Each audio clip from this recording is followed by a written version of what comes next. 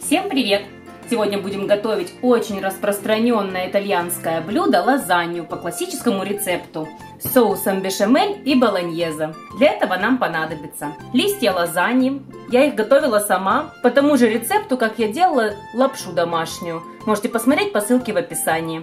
Черный перец, молоко, соль, томатная паста, сливочное масло, соус томатный. Я взяла кетчуп чили, мука, мясо, у меня свиная шея. Я перемолола ее. Свеженький фарш получился. Сыр, морковь и лук. Сыр нужен пармезан, но я не нашла в магазине пармезан, взяла самый твердый сыр. Для начала приготовим соус бешамель. Для этого на разогретую сковороду я выкладываю 60 граммов сливочного масла, растоплю его. Масло растопилось. Сюда мы всыпаем 60 граммов муки и хорошо-хорошо перемешиваем. Все, муку хорошо перемешали, сразу же вливаем 800 граммов горячего молока. Порционно. И тоже хорошо перемешиваем. Молоко все вылили, теперь надо хорошо посолить. Щепотку соли. Довели соус до кипения и выключаем. Соус бешамель мы приготовили, теперь будем готовить соус болоньезе. Для начала нарежем мелко репчатый лук, а морковь натрем на терке.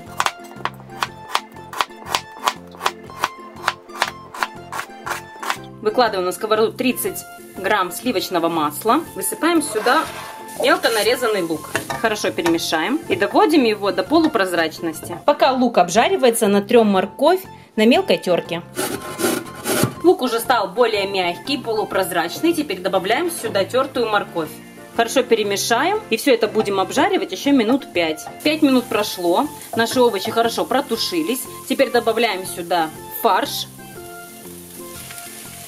Немного перемешаем. Посолим и поперчим. И еще раз хорошо перемешаем. Тушим все это еще минут 10. 10 минут прошло. Мясо уже хорошо протушилось. Теперь добавляем томатный соус и томатную пасту.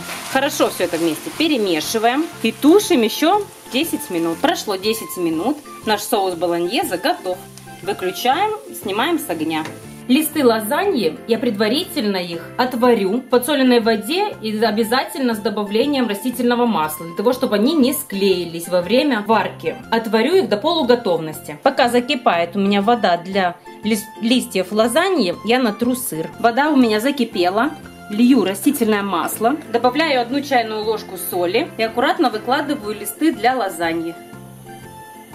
Выкладываю по несколько штук, чтобы они не склеились. Пока листы для лазаньи у меня размягчаются, отвариваются, на дно формы выложу часть соуса бешамель. Прошло 2 минуты, листы немного отварились. Раскладываю листы поверх соуса бешамель. Теперь выкладываю часть соуса болоньезе. Поверх выкладываю соус бешамель и посыпаем тертым сыром. Теперь снова выкладываем листы. Поверх выкладываем бешамель. Теперь слой соуса болоньезе. Теперь опять соус бешамель. Сверху покроем тертым сыром. Посыпаем сыром. И дальше повторяем все слои до тех пор, пока у вас не закончатся ингредиенты. Последний слой покрываем соусом бешамель. И посыпаем тертым сыром и ставим в духовку на 180-190 градусов на 20-25 минут. Если вы предварительно не отваривали листы лазаньи, то тогда держите минут 40 в духовке. Лазанья наша пеклась 20 минут при температуре 180 градусов. Посмотрите, какая она красивая, очень сочная получилась. Запах волшебный. Попробуйте приготовить по этому рецепту у себя дома и убедитесь в этом сами. Спасибо за просмотр! Если вам понравился этот рецепт, ставьте лайки, пишите комментарии и подписывайтесь на мой канал. Пока-пока!